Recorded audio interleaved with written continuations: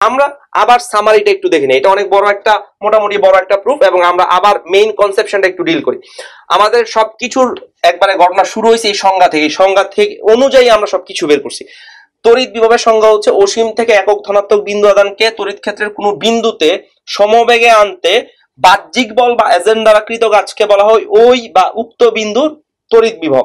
তাহলে আমরা একটা চার্জ প্লাস কিউ দ্বারা একটা ক্ষেত্র তৈরি করছি রাইট এই ক্ষেত্রের মধ্যে অসীম থেকে একটা একক ধনাত্মক আদানকে নিয়ে আসব। কিন্তু আনার শর্ত হচ্ছে সবকিছু ডিপেন্ড করতেছে এই কন্ডিশনের উপর, সমবেগ আনতে হবে। কেন সমবেগ? আমি বলছি এটা কাজ শক্তি ক্ষমতা অধ্যায় তোমাদেরকে পড়ানো হবে। তাহলে এখন আমরা অসীম থেকে নিয়ে আসব রাইট তাহলে অসীম থেকে আমরা একটা একক ধনাত্মক বিন্দু আদান এটা অসীম, এটাও অসীম, এই বিন্দু অসীম, যে কোনো জায়গা থেকে আনতে পারে। অসীম থেকে একটা একক ধনাত্মক বিন্দু আদানকে আমরা এই বিন্দুর দিকে নিয়ে আসতেছি। এবং আমরা বলছি, যখন আনব, তাকে স্থিতিশীল অবস্থায় না, তাকে গতিশীল অবস্থায় আনতেছি, কারণ একে আমরা অবশ্যই এই বিন্দুতে আনতে হবে। স্থিতিশীল অবস্থায় রাখলে সবসময় কি হবে? সে স্থিরই থাকবে। গতিশীল অবস্থায় আনলেই শুধুমাত্র ওকে অসীম থেকে এখানে আনতে পারব। তো আমরা একটা সমবেগ আমরা ধরছিলাম যে ধরে নিছি, এটা তুমি অন্য যে কোনো ব্যাগ ধরতে পারো, আমি ধরে নিছি ওয়ান মিটার পার সেকেন্ড ব্যাগে ওকে আনতেছি। আনার ক্ষেত্রে যেই মুহূর্তে ওয়ান মিটার পার্সেন্ট সে যেই মুহূর্তে বাউন্ডারিটাকে ক্রস করবে, করা মাত্র তার উপর হচ্ছে কুলম বল অ্যাপ্লাই হওয়া শুরু হবে। কোন কোন চার্জটা দ্বারা প্লাস কিউ চার্জ দ্বারা কুলম বল অ্যাপ্লাই হওয়া শুরু হবে ওর উপরে। আর কুলম বল অ্যাপ্লাই হওয়া শুরু হলে তার মধ্যে তরণ হইতে পারে। আর সেই তরণকে প্রতিহত করার জন্য বা তরণকে শূন্য করার জন্য, সমবেগ বজায় রাখার জন্য এক্সটার্নাল ফোর্স অ্যাপ্লাই করতে হবে। যে ফোর্সটা অবশ্যই কুলম বলের সমান এবং বিপরীতমুখী। এবং আমরা জানি, যতই কাছে যাবে কুলম বল আস্তে আস্তে তত বাড়তে থাকবে। ফলাফল হিসেবে সমবেগ ধরে রাখার জন্য এক্সটার্নাল ফোর্সটাকেও আমাকে কি করতে হবে? সাথে সাথে চেঞ্জ করতে হবে। তাহলে আমরা কি এটা বুঝতেছি? যে আমরা অসীম থেকে যখন একে এক্স বিন্দুতে আনব, তখন যে এক্সটার্নাল ফোর্সের মাধ্যমে আনব এক্সটার্নাল ফোর্সটা ধ্রুব বল না, পরিবর্তনশীল বল। তাহলে আমরা যে কৃত কৃতকাজ বের করতে যাচ্ছি, এই কৃত কৃতকাজটা হবে পরিবর্তনশীল বল দ্বারা কৃত কৃতকাজ। এবং পরিবর্তনশীল বল দ্বারা কৃত কৃতকাজের ফর্মুলা আমাদের জানা আছে W equal to integration of F vector dot d s vector মানে হচ্ছে এফ ডিএক্স কস থিটা সেখান থেকে আমরা হচ্ছে গিয়ে বাকি ক্যালকুলেশন আগায় নিয়ে গেছি। তো সবসময় মনে রাখতে হবে, আমরা এই এফ টিকে কেন এফ সি দ্বারা রিপ্রেজেন্ট করে দিছি বা কেন এটাকে এটাতে কনভার্ট করলাম? এটার মেইন রিজন বা কারণ হচ্ছে ইন্টিগ্রেশন আমি তখনই কমপ্লিট করতে পারব যখন এই এফটাকে এক্সের ফাংশন হিসেবে প্রকাশ করতে পারব রাইট তো এফ এক্সটার্নাল ফোর্সকে এক্সের ফাংশন হিসেবে প্রকাশ করার একটাই উপায় যে এফ এক্সটার্নালকে এফ সি তে কনভার্ট করে দেয়। কারণ এফ সিটা এক্সের উপর ডিপেন্ড করছে এফ সিটা এক্সের মাধ্যমে প্রকাশ করা যায় রাইট ফলাফল হিসেবে আমরা এই এফসি আর এফসি যে কথা ইসি সেম কথা, সেটাকে আমরা এক্সের মাধ্যমে রিপ্রেজেন্ট করছি। আর এক্সের মাধ্যমে রিপ্রেজেন্ট করার পরে আমরা সব জায়গার মধ্যে যে মাইনাস কজ ওয়ান এইটির কারণে একটা মাইনাস আসবে এবং আরও কয়েকটার কারণে মাইনাস আসতেছে। কি কারণে মাইনাস আসতেছে? এই যে শুরুতে একটা মাইনাস আসছে F E X T equal to minus F C এইটার কারণে একটা মাইনাস আসছে রাইট আবার এফ সি ডিএক্স এই এই জিনিসটাকে, এই দুইটা ভেক্টরকে যখন ডট গুণ ফলে ভেঙে ফেলছি, তখন হচ্ছে গিয়ে আবার ডিএক্স এর মান বসেছি আবার ডিএক্স এর মান হচ্ছে গিয়ে নেগেটিভ কেন নেগেটিভ কারণ দূর থেকে কাছে আন- আনতেছি। আর কাছে আসা মানে শেষের দূরত্ব ছোট, আর দূর থেকে আসে মানে আদি দূরত্ব বড়। আর পরিবর্তন বের করে শেষের মান মাইনাস আদি মান, ফলে একটা মাইনাস থাকবে। এই মাইনাসে মাইনাসে কি হয়ে যাবে? প্লাস ফলাফল হিসেবে হইতেছে গিয়ে ইকুয়েশন কোথায় চলে আসছে? ইসি ডিএক্স আর কস থিটার জায়গায় কস কত বসবে? ওয়ান এইটি কারণ ইসি বা এফসি একই দিকে কাজ করতেছে। আর ডিএক্সটা কোন দিকে? তার উল্টা দিকে কাজ করতেছে। ফলে একশো আশি ডিগ্রি। কার কার মধ্যবর্তী কোন একশো আশি? ডিএক্স এফসি ইসি এদের সবগুলোর সাথে কোন কত? একশো আশি ডিগ্রি, বিপরীত। ফলাফল হিসেবে কজ ওয়ান এইটি মান কত আসছে? মাইনাস আসছে। এই মাইনাসটা এখানে রয়ে গেছে রাইট বাকি কাজ হচ্ছে কি ইন্টিগ্রেশন এবং ইন্টিগ্রেশনটা কেমনে করছি সেটা আমরা দেখাইছি। ওকে ক্লিয়ার তাহলে আমরা মনে হয় শিখে গেছি কীভাবে হচ্ছে তড়িৎ বিভব বের করতে হবে তাহলে তড়িৎ বিভবের সূত্রটা কি? আমরা একটু ভালো করে লিখে ফেলি। তড়িৎ বিভবকে তোমাদের বইয়ে, তড়িৎ বিভবকে তোমাদের বইয়ে ডাব্লিউ দ্বারা না ভি দ্বারা রিপ্রেজেন্ট করছে। তাই আমরা ভি দ্বারা রিপ্রেজেন্ট করব। ভি ইকুয়াল টু হচ্ছে one by four pi epsilon naught right Q by X তোমাদের বই এখানে এক্স না দিয়ে কি দিছে? আর দিছে। কোনো সমস্যা নাই। তুমি প্রমাণে সব জায়গায় আর ইউজ করবে, তাহলে এখানে আর ইউজ করতে পারবা ওকে তাহলে এইটা হচ্ছে গিয়ে আমাদের একক ধনাত্মক বিন্দু আদানকে তড়িৎ ক্ষেত্রের কোনো বিন্দুতে অসীম থেকে সমবেগে আনতে কৃতকাজের মান। এটা ভিটা হচ্ছে কৃতকাজের মান ওকে থ্যাংক ইউ তাহলে আমরা এতক্ষণ ধরে যে প্রমাণটা করছি তড়িৎ বিভব, তার ক্ষেত্রে একটা জিনিস খুব ভালোভাবে মনে রাখতে হবে, যেটা হচ্ছে আমি আগের বার সংজ্ঞার সময় লিখি নাই, এটা যে কোনো চার্জ কর্তৃক সৃষ্ট তড়িৎ ক্ষেত্রের জন্য তড়িৎ বিভব না, এটা বিন্দু আদান দ্বারা সৃষ্ট তড়িৎ ক্ষেত্রের তড়িৎ বিভব। তাহলে বি কেয়ারফুল এই তড়িৎ বিভবের জন্য আগে আমাদের মেনশন করে দেওয়া উচিত তাহলে অবশ্যই আমাদের অবশ্যই আমাদের মেনশন করে দেওয়া উচিত যে এই তড়িৎ বিভব যেটা আমরা বের করছি, সেটা যে কোনো চার্জের দ্বারা সৃষ্ট তড়িৎ ক্ষেত্রের তড়িৎ বিভব না, এটা একটা বিন্দু আদান দ্বারা সৃষ্ট ক্ষেত্রের তড়িৎ বিভব। অর্থাৎ এই যে প্লাস কিউ চার্জ বা এই কিউ চার্জ দ্বারা আমরা যে ক্ষেত্র তৈরি করছি, এই কিউটা হচ্ছে একটা বিন্দু আদান যদি এটা বড় সড়ো কোনো আদান হয়, তাহলে বিভব বের করার এই সূত্রটা অ্যাপ্লিকেবল হবে না। অন্যভাবে সূত্র ডেভেলপ করতে হবে বা বানাইতে হবে।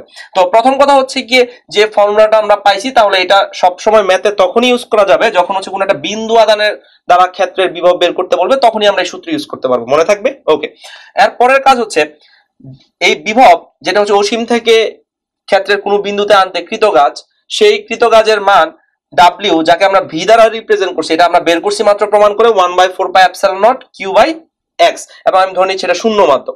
তো যেহেতু এটা এ বিন্দুর বিভব, তাই আমরা এখানে ভি এর নিচে আমরা এ লিখে দিব ওকে তো মজার ব্যাপার হচ্ছে, এই ফর্মুলাটা ইউজ করার সময় সব সময় মাথায় রাখতে হবে, অবশ্যই এই যে চার্জটা আছে, আমি অলরেডি বলছি যে কুলম বলে যে সূত্র আছে ক্ষেত্র প্রাবল্যের যে সূত্র আছে, সেই সকল জায়গায় যে চার্জ কিউ আছে কিউ ওয়ান আছে কিউ টু আছে, এইগুলাতে কোনো প্লাস মাইনাস ইউজ করবে না।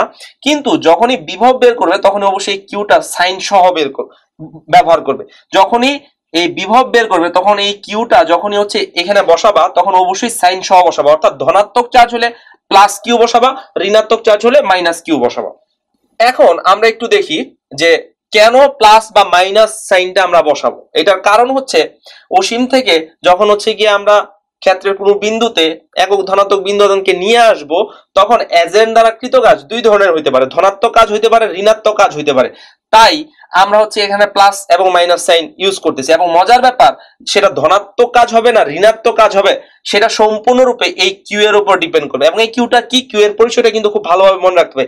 এই ক্যাপিটাল কিউটা হচ্ছে ক্ষেত্র সৃষ্টিকারী আধার তাহলে আমি একটু আবার লিখে দিচ্ছি এই কিউটা কি? তাহলে এই কিউটা হচ্ছে ক্ষেত্র সৃষ্টিকারী আধান ওকে এবং এই কিউটাকে যখনই আমরা বসাবো, অর্থাৎ বিভবের সূত্রে যখন ক্ষেত্র সৃষ্টিকারী আধান বসাবো, তখন প্লাস অথবা মাইনাস সহ বসাবো।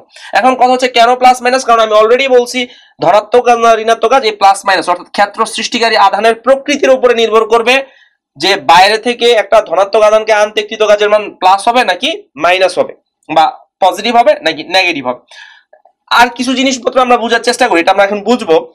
আমরা আরেকটা জিনিস এখান থেকে খেয়াল করতে পারি, যে এই কাজের মান যদি ক্ষেত্র সৃষ্টিকারী চার্জ ফিক্সড থাকে, তাহলে শুধুমাত্র এক্সের উপর ডিপেন্ড করবে।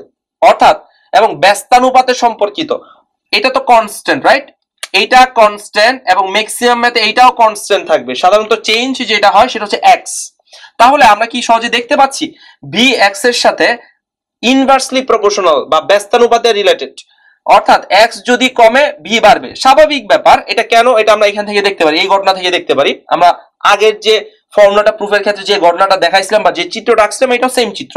এবং এটা থেকে আমরা দেখতে পারি যে এটা প্লাস কিউ চার্জ রাইট এই প্লাস কিউ চার্জ থেকে এ বিন্দু যত দূরে আছে, আমি যদি একটা বি বিন্দু নেই এই জায়গার মধ্যে, সেটা আরও দূরে থাকবে রাইট এখন বলতেছে এক্স যত বড় হবে, এই বি তত ছোট হবে। অর্থাৎ ক্ষেত্র সৃষ্টিকারী আদান থেকে যে বিন্দুর বিভব বের করব সেই বিন্দু যত দূরে হবে, বিভব তত কম হবে। কেন? সেটা সহজে বোঝা যায়।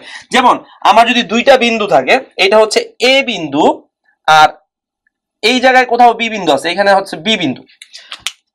প্লাস ওয়ান কে বি বিন্দুতে আনতে যে পরিমাণ বল প্রয়োগ করতে হবে এ বিন্দুতে আনতে তার চেয়ে বেশি বল প্রয়োগ করতে হবে রাইট কারণ বিতে আনতে খুব কম পরিমাণ সময় ক্ষেত্র প্রাবল্যের বিরোধিতা করতে হবে। কিন্তু প্লাস ওয়ান কে এ বিন্দুতে নেওয়ার সময় অনেক বেশি সময় ধরে ক্ষেত্র প্রাবল্যের বিরুদ্ধে নিয়ে যেতে হবে। ফলাফল হিসেবে এই প্লাস ওয়ান কে এতে আনতে বেশি কাজ করতে হবে এক্সটার্নাল ফোর্সকে আর বিতে আনতে এক্সটার্নাল ফোর্সকে কম কাজ করতে হবে, ফলে বি বিন্দুর বিভব হবে কম আর এ বিন্দুর বিভব হবে কি বেশি রাইট যদি ক্ষেত্র সৃষ্টিকারী আদান হয় পজিটিভ তাহলে এটা বলা যাবে। এখন কথা হচ্ছে, আমরা বলছি দুই ধরনের কাজ আছে পজিটিভ কাজ এবং নেগেটিভ কাজ। কেন? সেটা আমরা একটু দেখি। দুইটা ঘটনা আমরা এখানে, দুইটা চিত্রের মাধ্যমে আমরা দেখাবো। এই যে ঘটনাটা, এই ঘটনার ক্ষেত্রে এটা কেস ওয়ান তাহলে আমরা এটা কেস ওয়ান দেই, এটা হচ্ছে কেস ওয়ান কেস ওয়ানের ক্ষেত্রে ক্ষেত্র সৃষ্টি করছে একটা প্লাস চার্জ আরেকটা হচ্ছে কেস টু কেস টু এর ক্ষেত্রে ক্ষেত্র সৃষ্টি করছে একটা মাইনাস চার্জ তাহলে এই ক্ষেত্রটা হচ্ছে ঋণাত্মক চার্জ দ্বারা সৃষ্ট ক্ষেত্র, আর এই ক্ষেত্রটা হচ্ছে ধনাত্মক চার্জ দ্বারা সৃষ্ট ক্ষেত্র রাইট আমরা এখন দেখতে চাই এই দুইটা ক্ষেত্রে একই পরিমাণ চার্জ যদি রাখি, কিন্তু সাইন উল্টা, অর্থাৎ এখানেও কিউ পরিমাণ চার্জ এই ক্ষেত্রেও কিউ পরিমাণ চার্জ কিন্তু এটা পজিটিভ এটা নেগেটিভ ফলে এটার ক্ষেত্র যতটুকু বড় হবে, এটার ক্ষেত্র ততটুকু বড় হবে রাইট কিন্তু বলরেখার দিক হবে উল্টা প্লাস কিউ চার্জের বলরেখার দিক হবে বাইরের দিকে মাইনাস কিউ চার্জের বলরেখার দিক হবে ভিতরের দিকে। এটা আমরা গাউস্ততে বলরেখা নিয়ে কাজ করছি, ফলে এখানে বলরেখা নিয়ে আমরা কিছু বলতেছি না। অর্থাৎ প্লাস কিউ চার্জের জন্য বলরেখা হবে বাইরের দিকে মাইনাস কিউ চার্জের জন্য বলরেখা হবে ভিতরের দিকে রাইট এখন আমরা যদি প্লাস ওয়ান চার্জকে এটার ভিতরে নিয়ে যাই, ধরলাম আমরা এই বিন্দু থেকে এই বিন্দুতে নিয়ে গেলাম। তাহলে এক্সটার্নাল ফোর্স কোন দিকে দিতে হবে?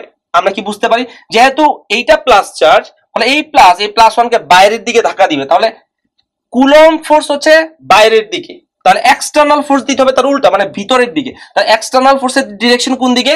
ভিতরের দিকে। আবার সরণ কোন দিকে? চার্জটাকে প্লাস ওয়ানকে এই বিন্দু থেকে ওই বিন্দুর দিকে নিয়ে যাচ্ছি। ফলে সরণের দিক হচ্ছে গিয়ে ভিতরের দিকে। তাহলে আমরা পেয়ে গেলাম ডিএক্স ভেক্টরটা যেদিকে কাজ করতেছে, এই ডিএক্স ভেক্টরটা যেদিকে কাজ করতেছে এক্সটার্নাল ফোর্স সেম দিকে কাজ করতেছে রাইট সরণ এবং যে বল দ্বারা কৃত কাজ বের করব, সেই বলটা সেম ডিরেকশনে কাজ করতেছে। ফলাফল হিসেবে কৃত কাজ হবে ধনাত্মক, কারণ বল এবং সরণ একই দিকে কাজ করা মানে cos zero degree cos zero মানে প্লাস ওয়ান অর্থাৎ এইটা হচ্ছে পজিটিভ কাজ রাইট কিন্তু ওই কেস টু তে কি হচ্ছে? কিন্তু কেস টু টু এর দিকে তাকাইলে আমরা দেখতে পাচ্ছি, এটা ঋণাত্মক চার্জ ক্ষেত্র সৃষ্টিকারী চার্জ হচ্ছে ঋণাত্মক। ফলাফল হিসেবে প্লাস ওয়ান যখন এই বিন্দুতে আসে, তখন প্লাস ওয়ান কে মাইনাস কি, ধাক্কা দিবে না, টান দিবে? টান দিবে, অর্থাৎ এবার এফসি বা কুলম ফোর্স ভিতরের দিকে রাইট আর এফসি কে নাকচ করতে হলে এক্সটার্নাল ফোর্স কি ভিতরে দিলে হবে? না, নাকচ করতে হবে, কারণ সমবেগে নিতে হবে। আর সমবেগে নিতে হলে এক্সটার্নাল ফোর্স কে বাইরের দিকে দিতে হবে রাইট তাহলে এফ ইএক্সটিটা এফ এর উল্টা দিকে রাখার জন্য বাইরের দিকে আছে। কিন্তু আমরা জানি, আমরা যদি অসীম থেকে এটাকে ভিতরের দিকে নিয়ে আসতেছি, ফলে আদি বিন্দু এইটা, শেষ বিন্দু এইটা। ফলাফল হিসেবে স্মরণের দিক কিন্তু সব সময় কোন দিকে? ভিতরের দিকে। কেস ওয়ানের ওয়ানের ক্ষেত্রে স্মরণের দিক ভিতরের দিকে কেস টু এর জন্য স্মরণের দিক ভিতরের দিকে। কারণ স্মরণটা হচ্ছে কোন দিকে? ভিতরের দিকে, আদি বিন্দু বাইরে, শেষ বিন্দু ভিতরে। তাহলে ডিএক্স ভিতরের দিকে, কিন্তু এক্সটার্নাল ফোর্স কোন দিকে? বাইরের দিকে। কেন আমি বারবার এক্সটার্নাল ফোর্স নিয়ে কাজ করি? কারণ তড়িৎ মানে কেন আমি বারবার এক্সটার্নাল ফোর্স নিয়ে কথা বলছি? এটার কারণ হচ্ছে তড়িৎ বিভব হচ্ছে এক্সটার্নাল ফোর্স বা বাহ্যিক বল দ্বারা কৃত কাজ তাহলে আমরা কি বলতে পারি?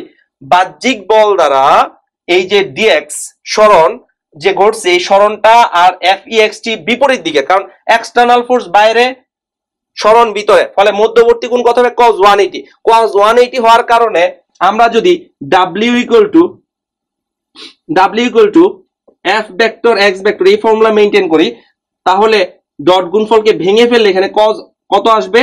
One eighty right cos one eighty মানে কি? মাইনাস তার মানে এই কাজটা হবে কি? ঋণাত্মক কাজ। আর এই ক্ষেত্রে ডাব্লিউ এর মান হচ্ছে কত? F vector into X vector equal হচ্ছে F E X cos zero degree right তার মানে এখানে হবে F E X into X এটা মানে কি কাজ পজিটিভ কাজ তাহলে আমরা এটা দেখতে পাচ্ছি যে এই ক্ষেত্রে কাজের জন্য সাইন আসতেছে প্লাস আর এই ক্ষেত্রে কাজের জন্য সাইন আসতেছে মাইনাস এবং এই সাইনটা চেঞ্জ হয়েছে কেন? যেহেতু আমরা যে চার্জটাকে আনতেছি সেই চার্জকে চেঞ্জ করতেছি। সেটা সবসময় প্লাস ওয়ান সেটা সবসময় প্লাস ওয়ান কিন্তু যার দ্বারা ক্ষেত্র তৈরি হচ্ছে, এই দুইটা যেহেতু চেঞ্জ হয়ে গেছে, ফলে কাজের সাইনও চেঞ্জ হয়ে গেছে। যখনই হচ্ছে কি plus minus Q coulomb charge আনছি, তখন এখানে ঋণাত্মক চার্জ ঋণাত্মক কাজ হয়েছে যখনই আমরা মাইনাস কিউ কুলম চার্জ আনছি, তখন এটা মাইনাস কাজে একটা মাইনাস চলে আসছে। ঋণাত্মক কাজ হয়েছে আর যখনই হচ্ছে গিয়ে প্লাস কিউ কুলম তখন ধনাত্মক কাজ, অর্থাৎ কাজ একটা প্লাস আসছে। তাহলে আমরা কি এটা বলতে পারি? এই যে কাজ বের করব, যখনই আমাদের বিভব বের করতে হবে, বিভব বের করার সময় সব সময় মাথায় রাখতে হবে, এই কিউ এর সাইনটা অবশ্যই বসাইতে হবে। অর্থাৎ কিউটা সাইন সহ বসাবো ওকে